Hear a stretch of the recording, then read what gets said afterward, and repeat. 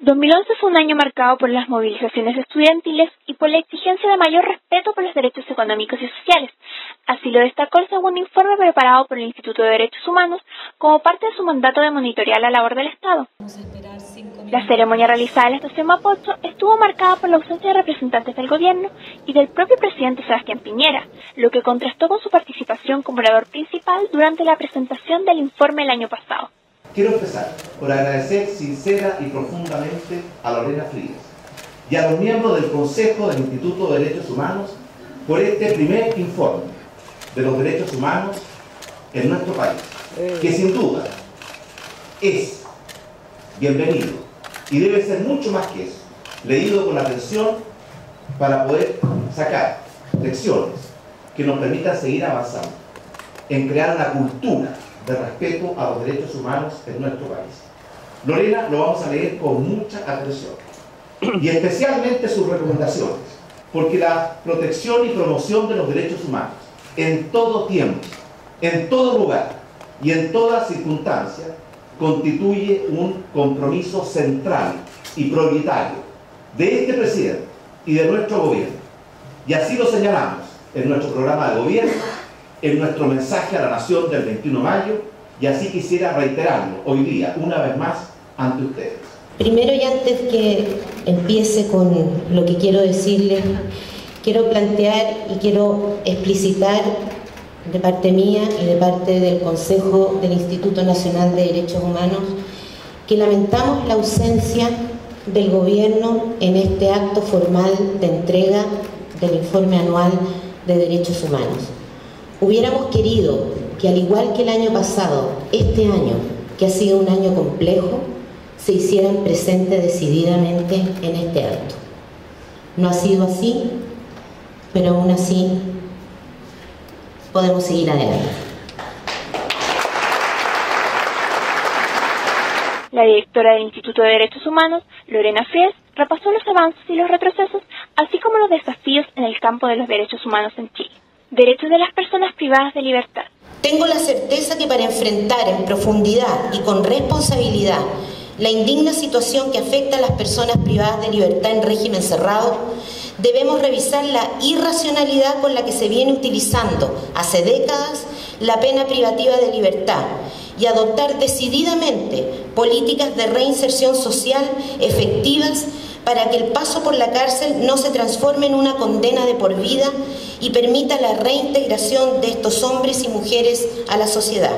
Necesidad de reformar las limitaciones al derecho a manifestarse. Chile se encuentra en deuda en esta materia.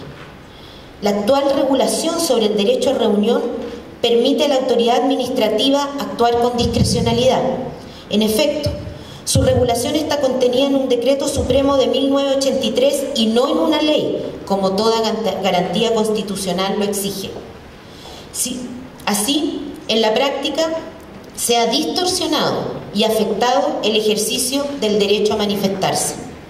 Desde aquí, llamamos al Gobierno a presentar un proyecto de ley que junto con establecer los límites y restricciones que puede tener el derecho a reunión, abre el debate sobre lo que hoy entendemos y debemos entender por orden público. Igualdad de todos los derechos, incluyendo los económicos, sociales y culturales. Los derechos económicos y sociales, entre ellos la educación, son derechos humanos a cuya garantía se ha obligado el Estado chileno al ratificar el Pacto Internacional de Derechos Económicos, Sociales y Culturales y hacen parte indivisible e interdependiente del catálogo de derechos humanos. El derecho al trabajo es tan importante y necesario como la libertad de expresión. El derecho a la educación es tan importante como el derecho a participar de los asuntos públicos. No hay jerarquía entre los derechos, sino solidaridad. Fies, antes de concluir, manifestó su rechazo al homenaje que recibió Miguel Krasnov por parte del alcalde de Providencia, Cristian Lave. Quiero ser enfática en mis palabras. Este país, esta sociedad, ha logrado un consenso que hoy no se puede poner en cuestión sin atentar contra la convivencia democrática. En Chile, el Estado, a través de sus agentes, cometió y encubrió graves crímenes contra las personas de manera sistemática y generalizada. Esa es la verdad y como sociedad tenemos el derecho y la obligación de conocerla, asumirla, respetarla y defenderla. ¿Qué le parece la, ausencia de, gente del, gobierno, del presidente propiamente? Estaba diciendo que el año pasado vinieron eh, a la primera entrega de este informe. Mm, bueno, nos parece, no nos parece bien, digámoslo muy claramente. Las razones tendrán que darlo el gobierno. Eh, creo que un tema como es este derecho humano, más allá del instituto, en que, como decía la directora, venimos saliendo todavía de un pasado muy duro, creo que el Estado, que es el principal, eh, yo diría, debiera ser el fomentador, promotor y custodio de la vigencia de los derechos humanos no esté presente, nos parece, a mí me parece grave, especialmente cuando se ve el derecho a manifestarse. Eh, como lo expresaba también en el discurso la directora, es un tema eh, que, ha surgido no solo en Chile, sino a nivel mundial, pero en Chile se encuentra muy restringido. Aquí todavía seguimos con ciertos estigmas que no se puede disentir, no se puede decir una cosa diferente de lo que venga en la línea tradicional de todo, y se pasa a ser criminalizado más o menos. Y el derecho a reunión está consagrado por toda una serie de instrumentos internacionales y a manifestarte, no como el gobierno quiera o el Estado quiera, sino como las personas quieran hacerlo. Si en Chile existiera el diálogo de, verdad, señor Piñera habría estado aquí hoy día. El ministro de Educación, el ministro de Justicia, el ministro de Relaciones Exteriores, el ministro del Interior, el presidente de la Cámara de Diputados. Bueno, todos invitados todos invitados. Todos fueron invitados, y no sé si todos los ministros, pero los principales más vinculados al tema, sí, y el presidente de la Cámara de Diputados. Pero para ellos el tema de los derechos humanos es, todavía les hace cosquilla. Después de una tragedia tan inmensa como la de San Miguel, que lo único que hizo fue mostrar lo que allí ocurría, no hay prácticamente avance. De más recursos, una intencionalidad distinta, un discurso más uniforme, no tan esquizofrénico como el que suelen dar, que por un lado queremos darles oportunidad y por otro lado queremos meterlos a todos presos.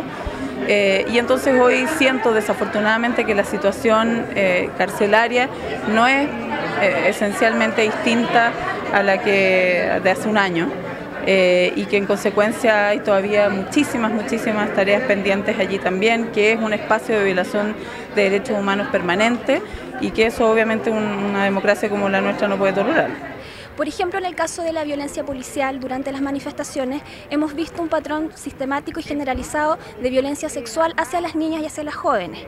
Por ejemplo, desnudez forzada, tocaciones eh, y muchas conductas que son tipificadas como violencia sexual en el ordenamiento internacional y que también es relevante, eh, eh, qué sé yo, como relevar como parte de un patrón de represión hacia las jóvenes y las niñas.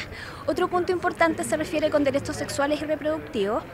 Eh, Chile es uno de los pocos países que tiene todo tipo de aborto absolutamente penalizado y prohibido y que es una violación a los derechos, por ejemplo, el derecho a la vida, el derecho a la libertad, muchos derechos humanos. Entonces también es importante relevarlo que en la comunidad internacional Chile es bastante mal visto por esta situación. Este concepto de discriminación arbitraria finalmente va a ser muy, muy difícil probar la discriminación eh, entonces creemos que se requiere que este proyecto de ley siga siendo discutido en el Parlamento. También es importante que se apruebe luego, pero también necesitamos tener una ley realmente efectiva. El informe fue entregado al presidente del Senado y a la Corte Suprema a través de la ministra Mónica Maldonado. De todas maneras, el mandado legal del Instituto Nacional de Derechos Humanos incluye la obligación de hacérselo llegar a las autoridades ausentes. Patricio Melero, presidente de la Cámara, y Sebastián Piñera, presidente de Chile.